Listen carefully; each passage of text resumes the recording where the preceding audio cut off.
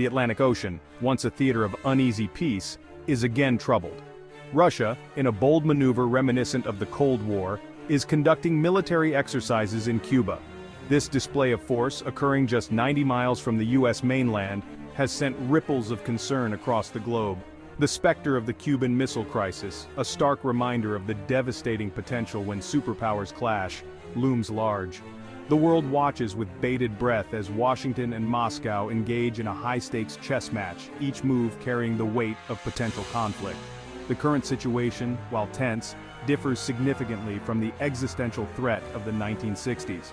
Nuclear arsenals, though still formidable, are subject to international treaties and decades of arms control agreements, however the potential for miscalculation and escalation remains.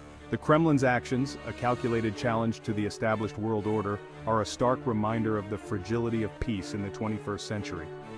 This situation demands a measured response, one that acknowledges the gravity of the situation without resorting to the brinkmanship that characterized the Cold War.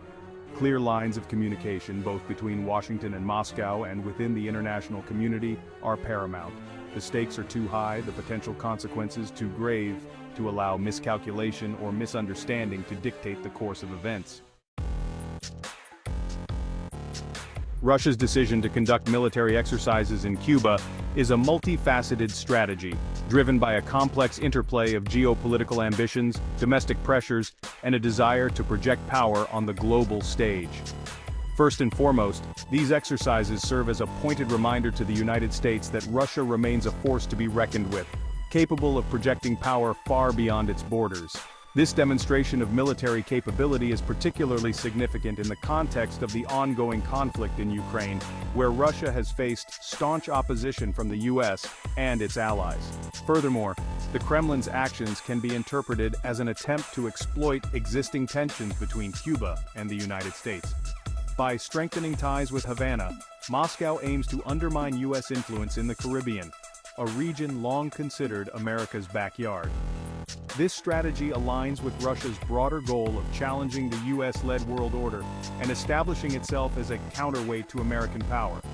Domestically, these military exercises play well with the Russian populace, bolstering national pride and reinforcing the image of a resurgent Russia standing up to the West. President Putin, facing internal challenges and seeking to maintain his grip on power, benefits from projecting an image of strength and resolve on the international stage. The Cuban exercises, a potent symbol of Russia's defiance, serve to distract from domestic issues and rally support for the Kremlin. The United States is monitoring the situation in Cuba with utmost seriousness. The proximity of these exercises to the U.S. mainland, coupled with the historical baggage of the Cold War, has triggered alarm bells within the Pentagon and intelligence agencies. While acknowledging Russia's right to conduct military exercises, the U.S. has condemned the move as provocative and unhelpful in the current geopolitical climate. Washington's primary concern is the potential for these exercises to escalate into a larger conflict. The risk of miscalculation or accident is heightened when military forces operate in close proximity, particularly in a region with a history of confrontation. The US is also wary of Russia establishing a permanent military presence in Cuba, a move that would significantly alter the balance of power in the region. To mitigate these risks, the US has deployed a range of surveillance assets to monitor the Russian exercises. P-8 Poseidon maritime patrol aircraft equipped with advanced sensors and surveillance equipment are conducting regular flights over the Caribbean, closely tracking the movements of Russian warships and aircraft. Satellite imagery provides real-time intelligence on Russian activities, while signals intelligence intercepts communications and provides insights into Russian intentions. The US is also working closely with regional allies to enhance situational awareness and coordinate a response if necessary.